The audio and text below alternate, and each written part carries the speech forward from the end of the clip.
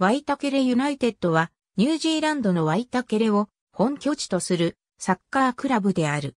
2004年、ニュージーランドフットボールチャンピオンシップ創設に伴い、西オークランド地区の12クラブが統合して創設された。同じオークランド地方に本拠地を置くオークランドシティ FC とはライバル関係にある。2007年 OFC チャンピオンズリーグで優勝し、オセアニア代表として FIFA クラブワールドカップ2007に初出場。所属選手ほぼ全員が副業を持つアマチュアチームとして注目を集めた。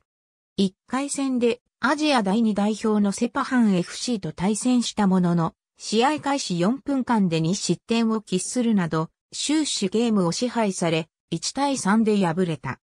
2008年、国内リーグを初制覇すると、OFC チャンピオンズリーグでも再び優勝を果たし、2年連続で FIFA クラブワールドカップ2008に出場。1回戦で隣国オーストラリアのアデレードユナイテッドと対戦し、1対2で敗れたが、先制点を挙げるなど前回大会より向上したプレーを披露した。